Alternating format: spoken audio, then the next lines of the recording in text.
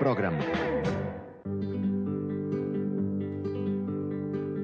Dobro jutro, ovo je Beogradska razglednica radija Studio B za sredu 12. mart 2003. godine. Pred nama sunčani topao dan, gotovo prolećni, iako je do kalendarskog početka proleća ostalo još desetak dana.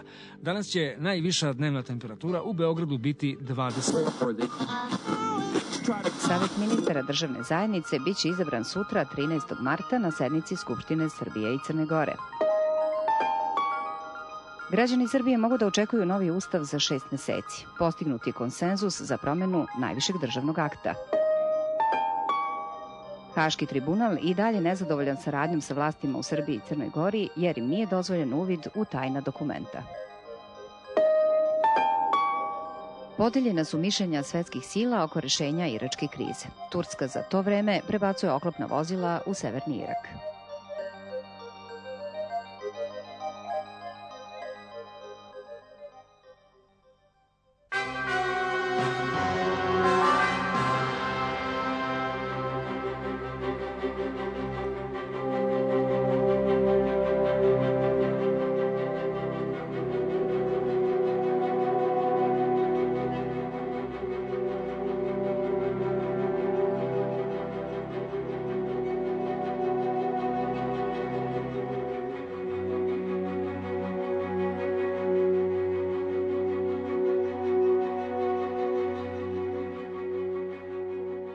Te srede je trebalo da uh, u jedan sat ima sastanak sa Savjetom za borbu protiv korupcije i u pola četiri sa ministrom inostranih poslova Švedske Anom Lind. E, bila je jedna i konferencija koja je, mislim, da li u Sava centru bila ili u hotelu Intercontinental, ne znam. Znači, uh, ali na to ipak, znači, uveče, 11. uveče odlučio da ne ide jer bolela ga rana i onda, znači, ipak je mislim, bilo mu je teško ipak da se kreće. Premijera je bolela noga tog dana i bilo je reči o tome da tog dana nećemo raditi. Na kraju je bilo definitivno odlučeno da nećemo ići na posao i mi smo se razišli. Posle nekih sat vremena ponovo sam se čuo sa Biljanom telefonom ili sa Saletom vozačem. Plan je promenjen, predsednik ipak kreće na posao i mi treba ponovo da se nađemo u vladi. Dogovorili smo se znači da dođe malo ranije, u jedan je bio Savet za borbu protiv korupcije, malo ranije i rekao je možda će kao 12, pola 1 da dođe. Krenuli smo iz zgrade vlade i nešto pre pola jedan tog dana smo bili, mislim oko 12.20 tačnije, ispred rezidencije u Užičkoj. Ušli smo u dvorište rezidencije, Sale i ja. njegovim autom, ostala dva auta su ostala ispred, ispred rezidencije. Ja sam pozvonio na vrata, otvorila mi je ružica kao i svakog dana. Rekla mi je da pričekam još malo da se predsednik spremi. Ja sam sačekao, ništa neobičajeno tog dana, kao i svakog drugog dana. Sačekali smo ispred u dvorištu. Premijer je kasnije više od 20 minuta izlasku iz, iz rezidencije, što za njega nije bio običaj. Bio je lep dan, mi smo stajali na polju, pričali smo, mislim, sa Ružicom koja je izašla da, da popriča sa nama. On je izašao negde oko 12.30, 12.32 otprilike. Ušao je u kola, pozdravili smo ga i to je bilo sve od njega za taj dan.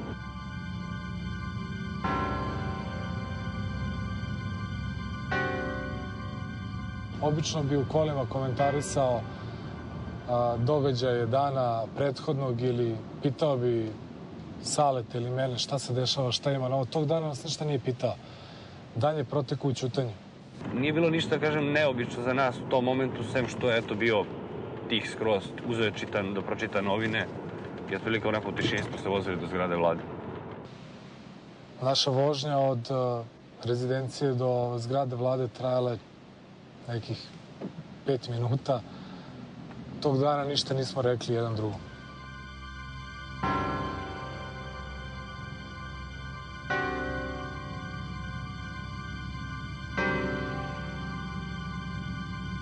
Tog jutra 12. šta se dešava? Ovi su raspoređeni već drugi dan za redom ili treći dan za redom na svojim statičkim pozicijama i ne smeju da prate premijerovu kolonu, otkriće ih. Onda je Duće rasporedio ljude na svim mogućim mestima od Dedinja, od Đinćeve službene rezidencije do zgrade u Nemanjinoj. I njihov posao je bio da, jave, da se jave praznom SMS porukom ako kolona prođe pored njih i onda se na osnovu toga dade proračunati otprilike kad bi stigli i tako dalje. Onda je nekima izgleda promakao, tako da je ovaj mali Dušan Krsmanović, ja mislim, koji je bio preko puta kod generalštaba, javio ovima koji od, od nešto od 10 ujutro sede i čekaju u Gepratovoj ulici. Išli smo do Topčevske zvezde, nizvedo do Ruda, onda smo zbog gužve u Kneza Miloša skrenuli i na Mostarskoj petlji išli smo Sarajevskom do Nemanjine. Bilo je sasvim normalno, sve prosečna gužva u gradu, ništa nije bilo u tom momentu ni sumnjivo, niti neobično za nas.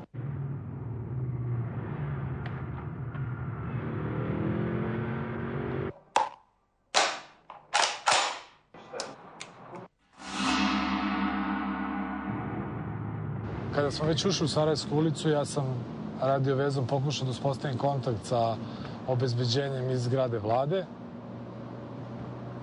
pozvao sam jednom,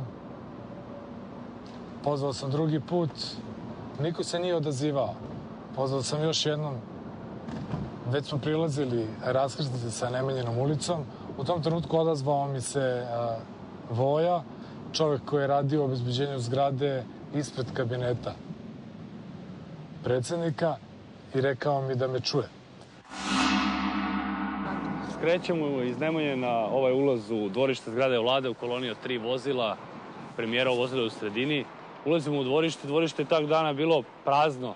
Bilo je jedno vozilo parkirano, neki crni pasat službeni vladin, ispred ovog ulaza ovde, na poziciji gde je parking mesto.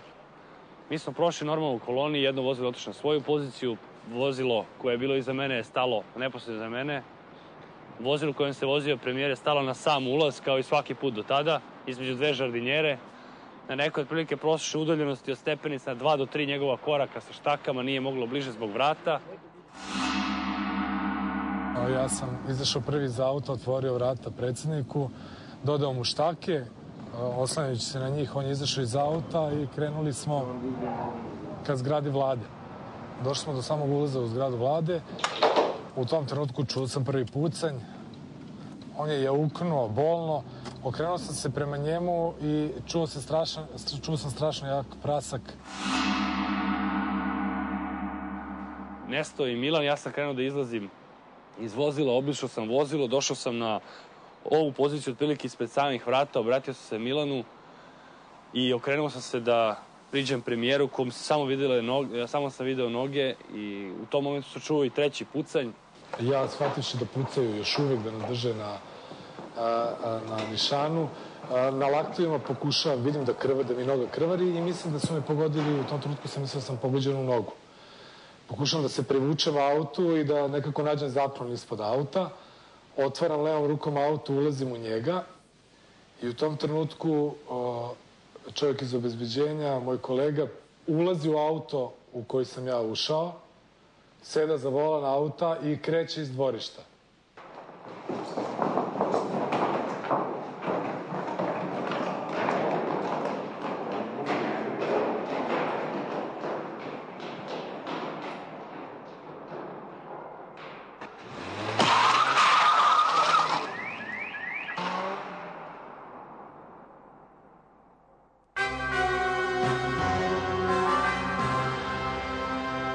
20 do 1 sam e, čula da je nešto, nešto lupilo, kao da je nešto palo teško jedno za drugim, znači onako dva puta.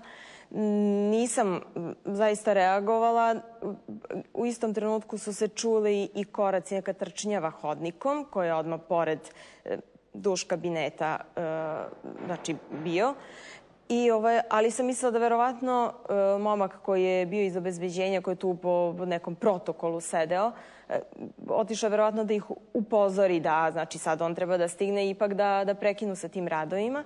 Međutim, on se i vrlo brzo vratio i rekao e, pucali su na šefa. Prišao sam, okrenuo sam ga, nije se videla krv, nije se videlo ništa, nije davao ni bilo kakve znakove. Krenuo sam da ga vučem na gore ispod mog tela, ne znajući šta se dešava i da li će biti još pucina, da li neko još uvek cilja na njega. Unutra kad smo ušli, pritičao mi je još jedan kolega koji izgradi u zgradi vlade. Pomogao mi da ga odnesemo na drugi na drugi deo stepe, iznad, iznad drugih stepenica, na taj prostor veći, gde su ste, tu su stvorili ljudi iz obezbeđenja. Stvorio se čovjek koji je taj dan trebao da otvori vrata i da sačeka premijera kao i svaki put ispred ovih vrata, mu je to bio posao, njega nije bilo normalno tu. Prišao je jedan od njegovih najbližih saradnika, pokušali smo da mu damo, da mu ukačemo pomoć, da vidimo šta se dešava. Tad smo, tad smo prvi put videli da je pogođen, videli smo krv. Sišla sam nekoliko stepenika i videla sam da su ga uneli. Uh, da pokušavaju da mu pruže pomoć, da znači nekoga je prskao po licu, pokušavali su veštačko disanje. I znači to je sve jako brzo trajalo. Ja sam samo razmišljala šta sad da uradim, ali sam, znači i kada sam pogledala onako sa, sa ne, nekim strahom, zato što je on toliko živ izgledao da sam mislila da će skočiti i reći Biljana šta praviš paniku, e, šta, šta, šta ste se okupili oko mene?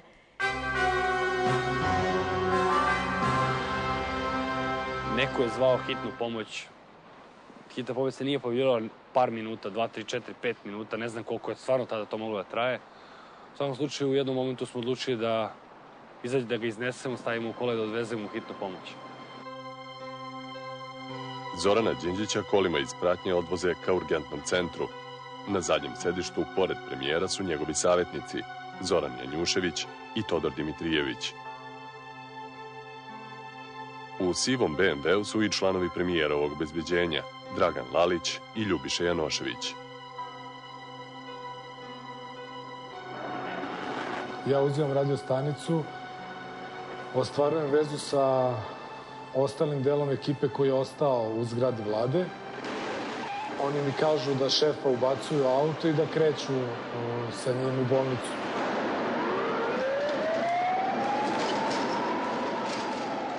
ulazimo u urgentni centar, prinose ona kolica. Kolicima me guraju kroz hodnik urgentnog centra, nastaje panika. Vidim žuta vrata koja su o, na nekim šinama u prijemnom odeljenju, broj 13, otvaraju baš ta vrata, guraju me unutra u tu salu i odjednom nastaje gužva oko mene.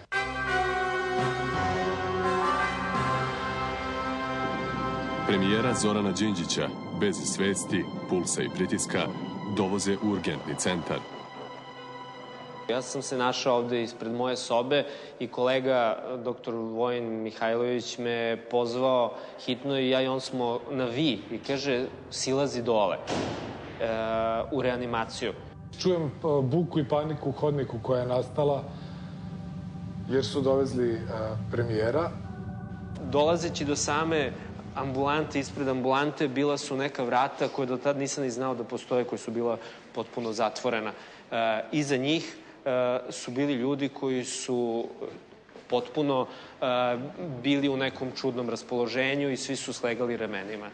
U jednom trenutku se okrećem i vidim pored mene na kolicima pokojnog premijera koji je bio u polusedećem položaju, okrenute glave od mene, a gore je bio rasp... košulja mu je bila skinuta. Ušao sam ovde, mi se po pogledima razumemo i vidimo šta je. Ja sam video odmah o čemu se radi, da, da se radi o teškim povredama. Pokušam da ga dozovem. Hvatam ga i osjećam tu njegovu hladnoću. Znači u tom trenutku ja shvatam da je on mrtav. A, mene obaraju na, na ležaj, na ta kolica na kojima sam ležao, obaraju me dole. Čujem glasove u sobi, doktor jedan koji je ušao unutra brzo je rekao dajte brzo ovoga u salu, jedan je mrtav, drugi je živ. Ja sam odmah svu svoju pažnju krenuo ka drugom pacijentu koga sam prepoznao, ja ga nisam lično poznavao, ali znam iz uh, obezbeđenja uh, tadašnjeg predsednika vlade Verulovića, on je sedeo potpuno svestan dečak, dečko, znači u polusedećem položaju. Ja sam odmah pitao šta je bilo upucavanje, pogledao sam gde je ulazna, kolegi su mi rekli gde je izlazna rana. Ja sam rekao šta čekate, ajde brzo u salu. O čemu se radi? I svi ćute. Mi smo e, već bili u trbuhu za nekoliko minuta. Znači, posle 5-6 minuta e, meni je neko od mojih kolega rekao pa dole onaj drugi pacijent je Đinjić. Rekao, nemoguće, prepozno bi ga, mislim, nemoguće. Idi proveri. I u tih desetak minuta koliko je trajala još ova operacija, ovaj, doznali smo da se zaista radi o premijeru. Tako da nikoga od nas, čak i koji su prolazili pored njega i koji, ja koji sam bio uz njega, niko nije verovao da je to on i niko nije pogledao u lice.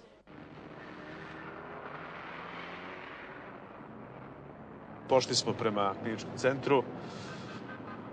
Sjećam se da je bila gužva, tako da je ovaj vozač vozio malo i po trotoaru da bismo stigli što, što pre ušli u urgentni centar i jedno sam razmišljao o tome da stignem i da vidim da da su se prevarili oni koji su mi već ovde rekli da je jako teško i da je Zoran u stanju da ostane živ. Ulazimo u ovaj centar ispred ordinacije ili ambulante 13, nažalost 13. A, je već bila gužva, Zoran je bio već znači, unutra, bilo je puno ljudi ispred. Ministar zdravlja tadašnji je bio tu. Mijat Savić, e, kućni lekar, je bio isto tu i rekli su mi da je rana takva da nema spasa. I neko me pitao šta, šta da radimo dalje, da li da, da sad konstatujemo smrt ili da se cela procedura nastavi onako kao što treba i to smo i radili, rekao sam da, sigurno. I onda su Zorana izneli iz sale, tad sam ga video poslednji put. Ponori su ga prema ovoj sali za operacije, išli smo za njim, stigli do ovde, on je unet u salu. Gospodja Đinđić je isto pristigla nakon desetak minuta, tako da je i ona bila prisutna desetak metara pored te naše operacijone sale. Bio je Goran Vesić, bio je Žikan Đelković, bio je uh, Zoran Janjušević, ne sećam se ko je dovezao Ružicu, možda Beba Popović, ne sećam se, ili neko drugi. U svakom slučaju, taj neki najuži krug ljudi koji su inače bili uz Zorana u mnogim teškim situacijama, ne u tako teškoj kao što je bio 12. marta.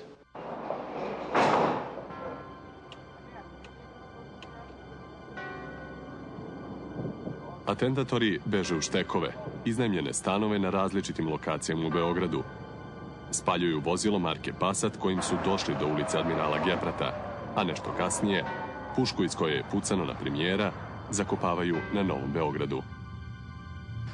Oni se razilaze po štekovima i ima ta priča jednog svedoka saradnika da se Zvezdan tražio da se istušira, gore u Vojvode stepe. Ovaj, Bagzija za to vreme čuvaju na nekakvom drugom mestu. Ovaj, Legija se celo to, celo to prepodne, kako, kako kažem, kako je bio lepi sunčan dan, mota po terasi svoje kuće tamo u Filmski grad, gde, gde je već ono, ovaj, a, pretpostavljam siguran da će ga od ozgo videti Goran Petrović, bivši načelnik državne bezbednosti, čiji balkon gleda u njegovo dvorište. I Goran je to ispričao, jeste, video sam kako se mota, pije kafu, čita novine, demonstrativno, da bi se u jednom trenutku, to je otprilike trenutak kad je atentat izvršen, izgubio i nestao. Znači, prešao je u štek omenskih brigada, gde mu ovi donose nekakvu klopu i ovo i ono, sve dok dva dana kasnije nije došao do zaključka koja je glasio, sve su zastrali, ja ću da se udaljim, nemoj više da mi dolaziš škenetu. Od, od, 12. marta je premijer imao zakazan razgovor sa Savjetom za borbu protiv korupcije i znam da je bilo zakazano za jedan sat i krenuo sam kneza Miloša prema vladi i upravo ovde kod, kod ovog parka između sadašnjeg ministarstva financija i vlade Srbije video sam evo ovako aj, obično rečeno nekakvu frku koja je bila već stvorena među policajcima koji obezbeđuju vladu Srbije. Video sam policajca koji je istrčao sa izvučenom mašinskom puškom, repetirao je. Meni izgledalo sve čudno, stao sam i čovjek u jednom trenutku rekao lezi budalo, puca se.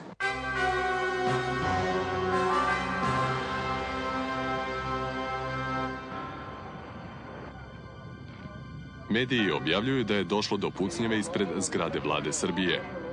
Još se ne zna šta se dogodilo.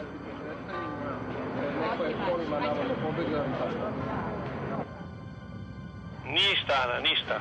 Nemate informacije ili ništa. nema ništa? Pa je li došlo do pucnjeva? Ništa telefonom, bilo je pucnjeva, ali ništa lično, evo, to je to. A recite mi, je li ima povrijeđenih bar ili... Mislim da je neko povređen tamo, ali to izgleda više slučajno. A recite mi sada kakvo je stanje? Ništa više, Ana, od ovog. Pokušam da pitam ljude koji su stali na prijavnici, dakle to obezbeđenje, niko nije imao pojma šta se događa, svi su bili nešto prilično tajanstveni. Poznavao sam te ljude, profesorka Zagorka Golubović je bila tu takođe i pustili su nas da uđemo unutra. I to je sad već bilo špartanje po hodnicima, video sam ovaj, Zoranovu sekretaricu koja bila prilično uplakana. Javljeno je, znači sad već to, to sam čula da su ga odvezli do, do urgentnog centra. Nisam baš istog sekunda znala gde, ali kao odvezli su ga u bolnicu i sad, eto, nešto, nešto se nadamo da će, da će nam javiti, znači, na ono što želimo da čujemo, a ne ono što ne želimo. Razgovarao sam upravo u tom trenutku sa potpredsjednikom vlade Miletom Isakovom koji mi je rekao da na vestima javljaju da je pucano na Zorana Đinjića, da je pucano Ušao sam u kola, otišao u vladu, to je trajalo samo nekoliko minuta. Nije bilo mnogo ljudi u vladi tog trenutka.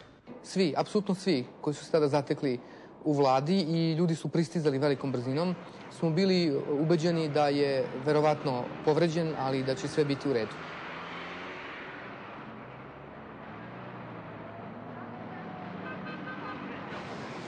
Onda smo, profesorka Golubović i ja u jednom trenutku ostali potpuno sami na onom stubištu i ako sve to sablasno izgledalo.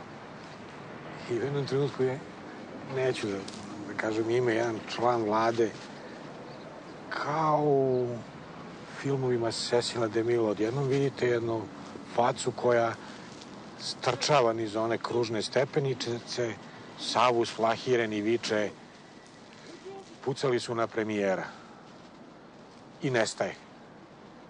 I posle nekoliko minuta istim tim stepenicama vraća se uzbrdo i viče na sreću nisu ga ubili. U isto vreme, u Skupštini Srbije u toku je sednica Odbora za bezbednost, kojoj prisustuje tada prvi policajac Srbije. Raspravljaju o neredima na sportskim utakmicama. I negde oko, oko 12.30 je čovek iz uh, Lukićevog tima ušao u salu to je bilo u maloj sali Skupštine Srbije, rekao nešto Lukiću, Lukić izašao napolje, vratio se onako dosta uzrujan i rekao mi pucali su na premijera. Ja sam tada onako zbunjeno, ali rekao, je, je živ? On kaže, ne znam ništa, moram da idem. Ja mislim da je u isto vreme i zazvonio telefon i na vezi je bio načelnik resora tada general Sreten Lukić. I rekao mi je samo generale izvršen je atentat na Zorana Đinđića i podigni nivo borbene gotovosti cele jedinice. Odmah nakon ubistva blokiran je grad. Obustavljeni su letovi sa Beogradskog aerodroma. To je jedan od zadataka koji je imala i žandarmerija, da jednostavno blokiramo neke izlazne, znači u saradnji sa, sa policijom, mesno nadležnom za, za, za uh, taj deo, da se blokiraju, blokiraju granični prelazi, da se blokiraju uh, autoput, uh, izlazi iz Beograda, da se kontrolišu sva vozila i tako dalje.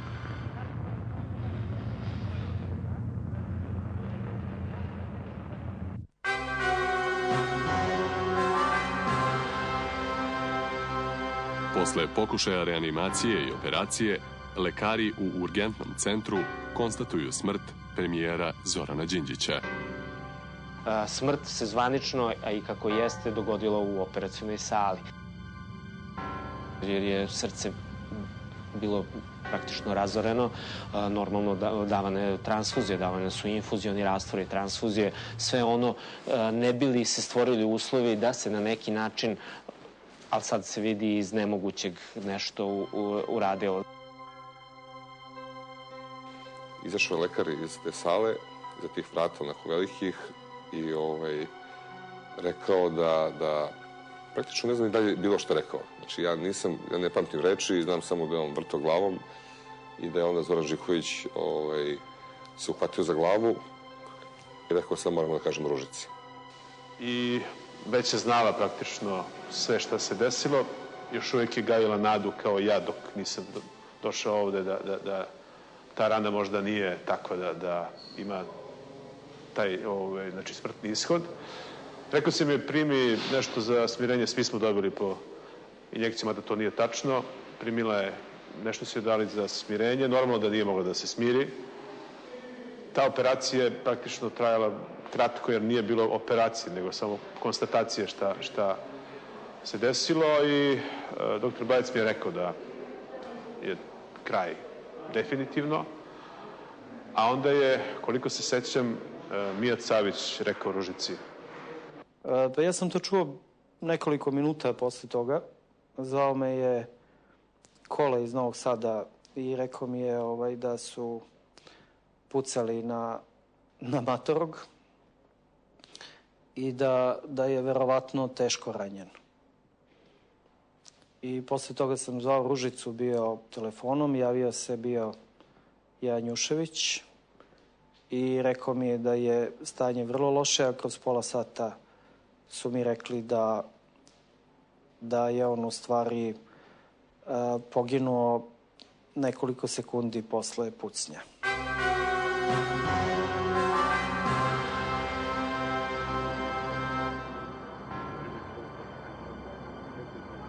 Sat vremena nakon pucnjave, istražni sudija izlazi na mesto zločina. Započinje uviđaj.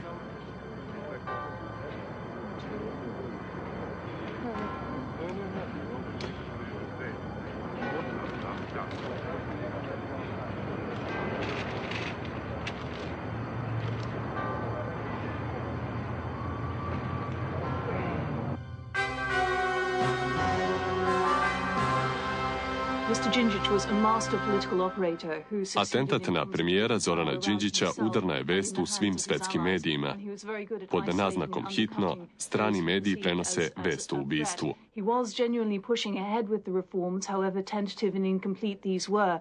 And now that this assassination has happened, it really does open a question, where does Serbia go from here?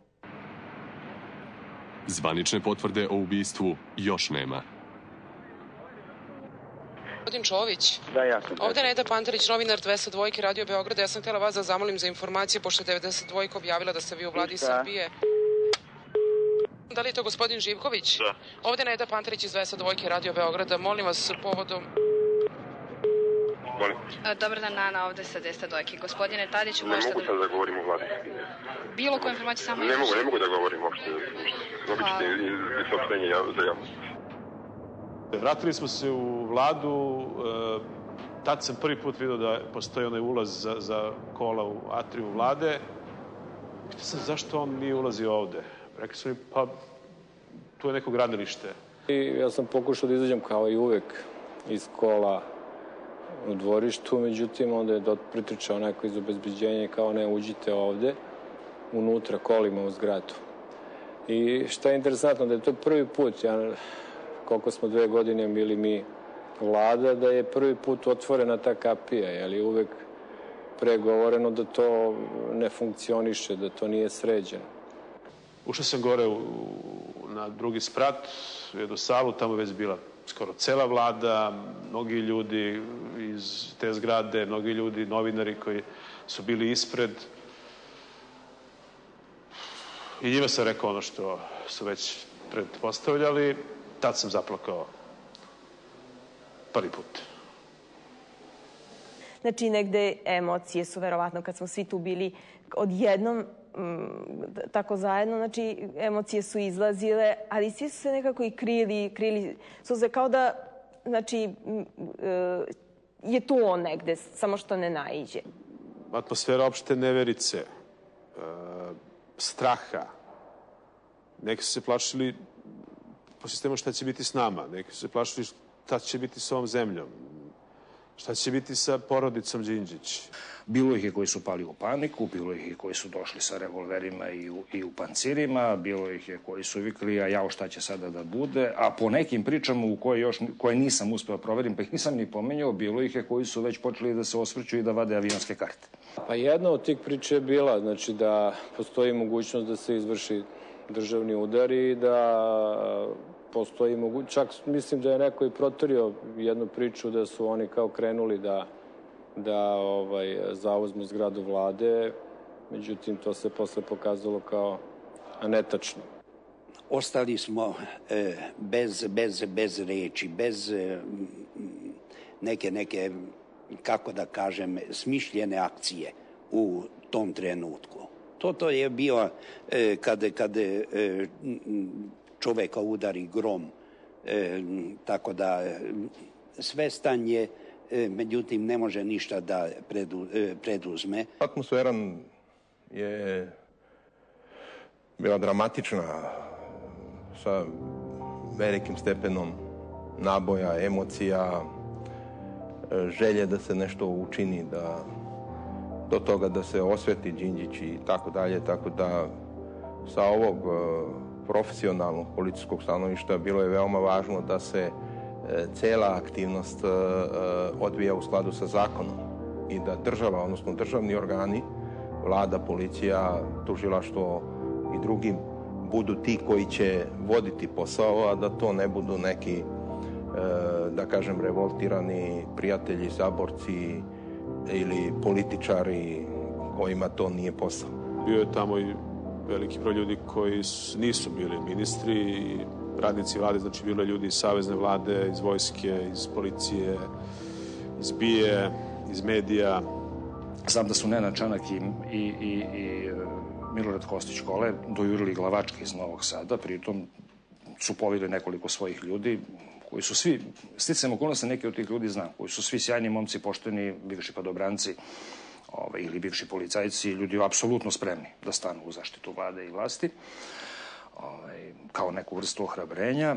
Kole je kao prijatelj mnogih od nas, pa i Zoranov, došao da, da izjavi saučešće i da kaže, ok, ako bilo šta, mislim, znajući da šta može da uradi u tom trenutku. Niko ne može više da uradi ništa u tom trenutku, ni za Zora, nego kao, ajde, daj, ako treba neka pomoć, ako, ali nije, niti je on imao nameru da donosi odluke, niti je on donosi odluke.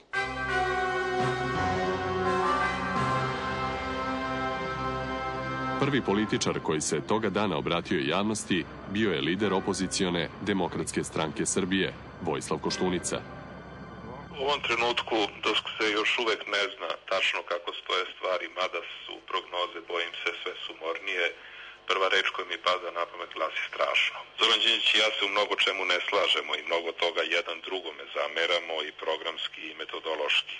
Ono što ja, međutim, u ovom trenutku za mene jedino važno jeste to da je najdublje i najoštrije osuđujem svaki vid terorizma, nasilja, primene sile u političkim i svim drugim obračunima.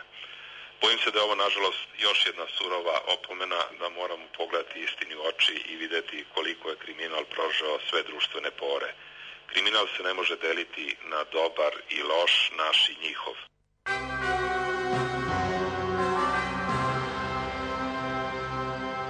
Počela je sednica Vlade Republike Srbije.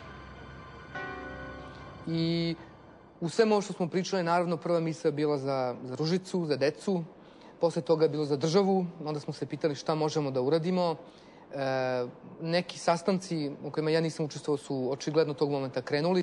I posle toga, naravno, krenuli su političke konsultacije da se vidi šta će se raditi dalje. U jednom momentu u, na, na tom našem kolegijumu faktički se skupio ceo a, državni vrh a, a, Savezne Republike Jugoslavije, jer su došli a, ovaj, Milo Đukanović, Filip Vujanović, mislim da je i gospodin Marović bio, došao je načelnik generalštaba Krga u to vreme. Tu su bili predstavnici demokratske stranke. Jednom riječu, svi su bili tu u tom trenutku i ja mislim da su svi dali podršku za uvođenje varednog stanja. E, tada je, ne, ne mogu da se setim tačno ko pomenuo uvođenje vanrednog stanja?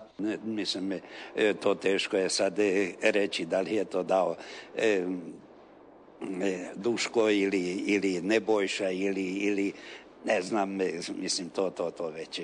Mislim, e, bar u mojoj glavi je bio tada e, isuviše veliki košmar nego da obratim pažnju ko je e, od e, tih prisutnih, da li je to Žarko Korać ili ne, ne, zaista ne mogu da se setim.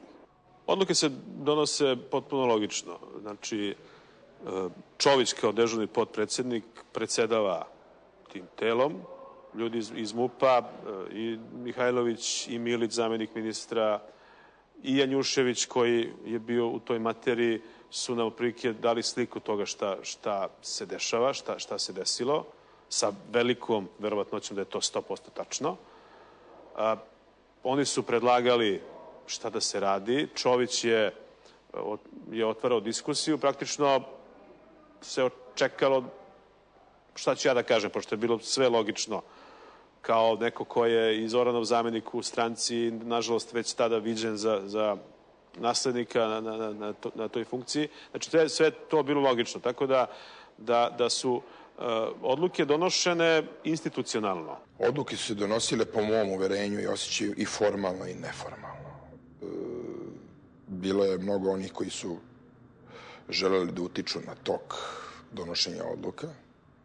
Mnogi su imali veliki lični interes, a neki su imali i obavezu da utiču na tog donošenja odluka. E, I bilo je vrlo teško u tom trenutku zadržati taj institucionalni okvir. Tu je se okupila nekakva ad hoc radna grupa. To se sećam u, u, u Zoranovoj, Đinđićevoj sali za konferencije pored kabineta. A ko je sve tu bio, ja stvarno ne mogu više da se setim, ima to u ovim, u ovim iskazima. I kažem, to je taj trenutak kad su se pogledali, rekli su, ma ovo je ovo. I idemo i mislim da je tu Beba odigrao jako značajnu ulogu. Beba je shvatao budući Beba čovjek izuzetno inteligentan koji strašno brzo misli, ja sam bio impresioniran razgovorima s njim, ja shvatio da e, na koji način će da ih, da ih on, da im izvuku tepih, da ih izmaknu iz ravnoteže proglašenjem vanrednog stanja. Mnogi su vršili pritiske za različite političke odluke. Ja ovog trenutka vrlo teško mogu da kažem koji kakve, zato što je stvarno bilo jedno veliko komešanje. Ali postojale su razne ideje, razne političke ambicije, postojale su razne namere. Nikog stvarno ne želim da optužim, ali imam jedan loš ukus ustima nakon svega toga. suština je u tome da su sve te odluke donete e, na ustavan i zakonit način od strane nadležnih državnih organa, a ta trka ko je šta, kako predložio i tako dalje za mene ima mnogo manje smisla. E, za mene je to je jedno posebno teško iskustvo. E, prvo, ja nemam nikakvu, u tom trenutku nisam imao kao pojedinac nikakvu nadležnost. E, nisam član vlade, ja sam predsjednik upravnog odbora PTT-a i pozvan sam tamo kao potpredsjednik demokratske stranke, pretpostavljam i neko ko je znao Zorana duže u stvari nego svi ostali.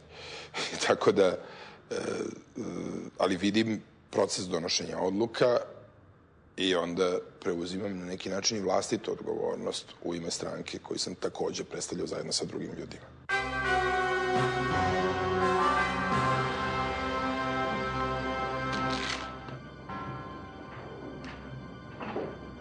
Više od dva sata nakon atentata saopšteno je da je premijer Srbije Zoran Đinđić ubijen. Predlaže se uvođenje vanrednog stanja, a nekoliko sati kasnije u medijima se objavljuje poternica za zemunskim klanom.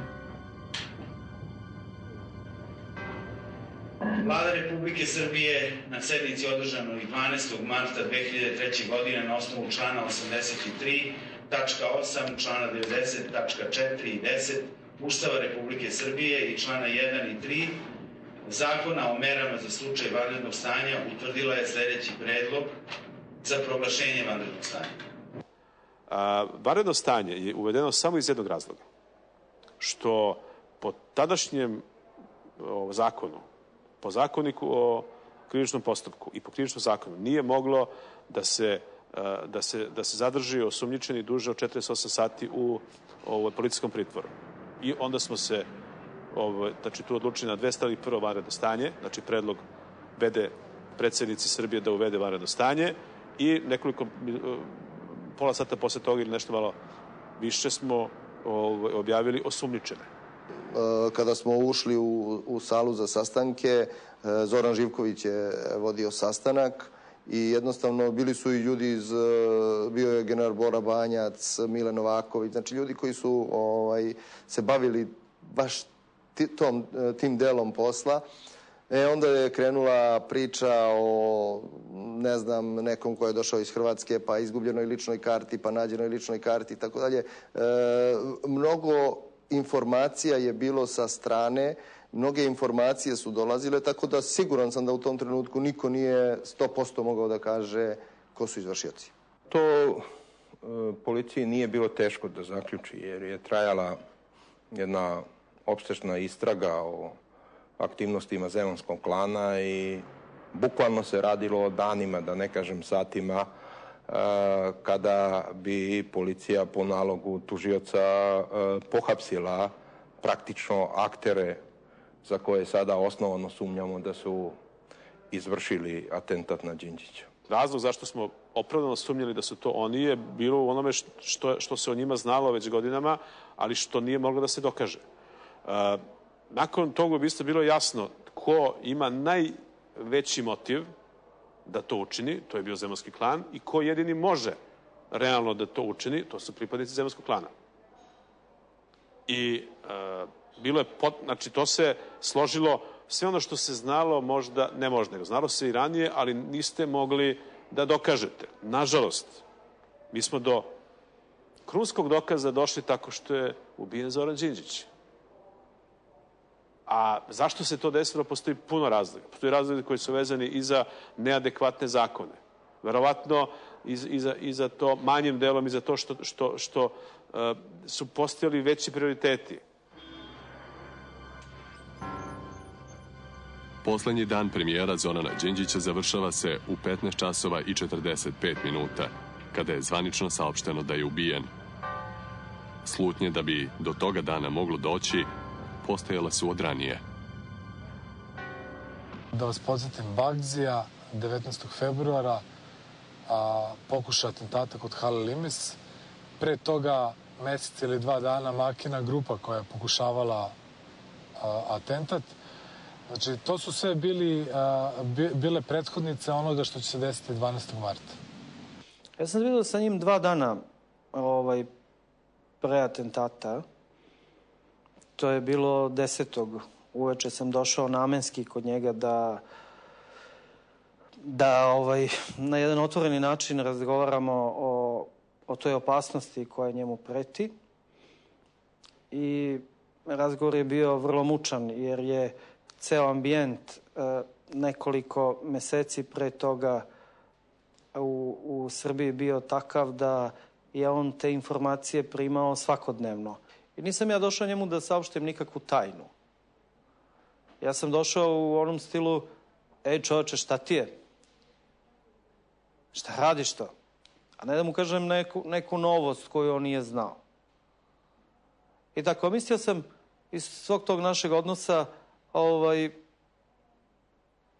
neće on meni da kaže ovo je kraj sastanka i ćao, što se, mislim, taj dan skoro i desilo na taj način. Ali, ovaj, ne može da mi kaže nešto. Recimo, sreo sam se bio tada sa, sa Gurijem tih dana i on mi je rekao, ej, ne može s njim da se razgovara, aj probaj ti. Ne znam to, pa što? Pa kaže, neće da priča čovjek o tome, ajde, ajde probaj ti da vidiš, ne znam šta. U to doba, recimo, ovaj, ono što, što je bilo i što je kasnije zamerano, Čedomir nije u državi, ali ne, on nije mogao ništa tu da uradi. Kao ministar, ni jednu informaciju ovaj nisam imao vezano za bezbednost, jer su verovatno smatrali da i ne treba time da se ovaj bavim. E, ja ne znam da li su stizale do Đinđića, znam da nisu stizale do mene. Pa mnogi će vam reći da je on tim dana bio dosta neraspoložen. Očigledno da ona njegova legendarna, da kažem, e, snaga i one dinamizam nisu bili u punoj meri tu. I isto tako ja sam e, noć pre toga, ne znam tačno kada, čuo sam se s njim telefonom, ali kao što sam se čuo po 10-15 puta dnevno sa njim. I u šali sam mu rekao da se pazi, jer naravno posle Limesa svi smo znali da je u životnoj opasnosti i rekao mi da se ništa ne brinem. Pa nažalost nisam jedini koji je sa Zoranom vodio razgovor na temu njegove zaštite.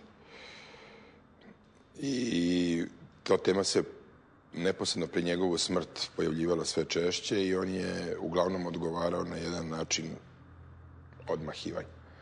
E, nije vodio računa o toj činjenici i naprotiv, imao je čak jedan arogantan odnos prema opasnosti.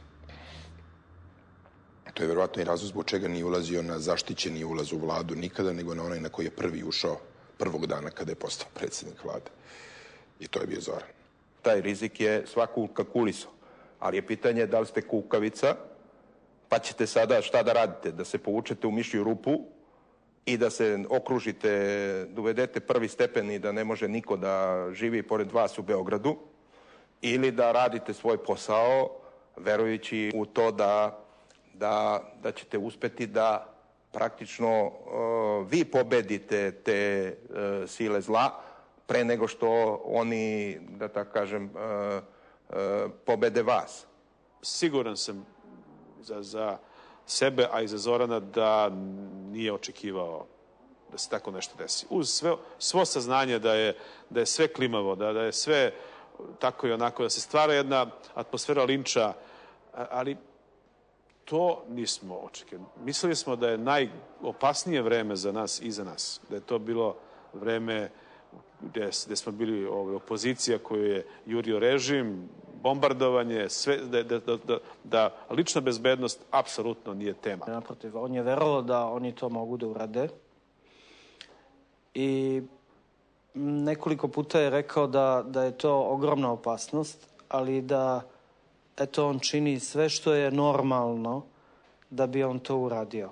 Ali vam kažem, zbog nenormalnog ambijenta koji je bio nekoliko meseci pre toga, on neće da zaustavi saobraćaj kad prolazi, ne znam, Kneza Miloša ili kako se već danas zove.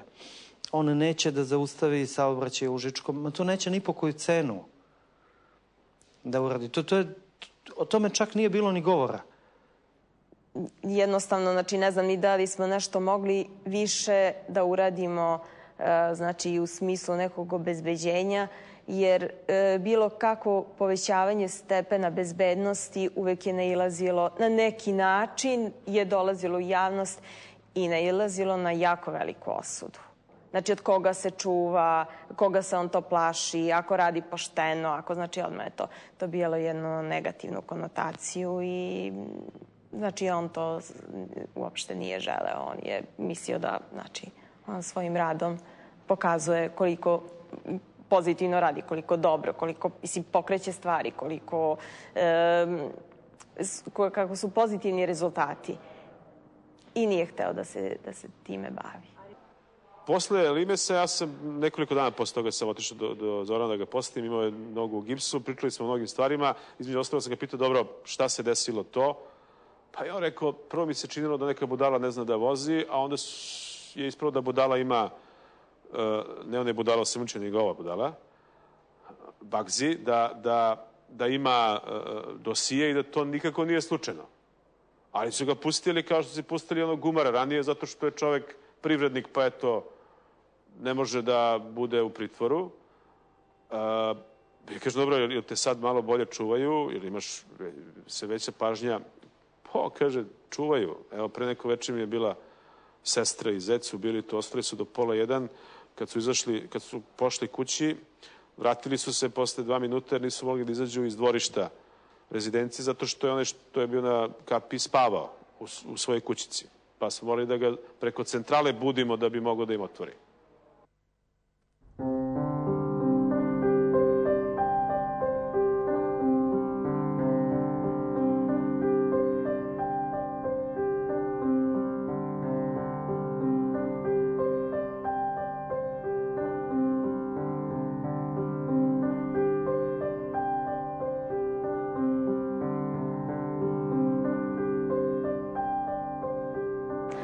12. marta predsjednik vlade Zoran Đinđić e, ima je sastanak sa Savjetom za borbu protiv korupcije u 13 časova i u pola četiri ima sastanak sa e, ministrom inostranih poslova Švedske Anom Lind. Ja kao njegova sekretarica vodila sam i rokovnik gde sam beležila e, pozive koje su stizali i zahteve ministara i, i, i drugih privrednika, ambasadora, državnika koji su želi da se vide sa njim. Tog 12. marta javio se novi izraelski ambasador i bili su tu neki privrednici koji su hteli sastanak takođe i to je nekoliko poruka koje nisam uspela da mu prenesem.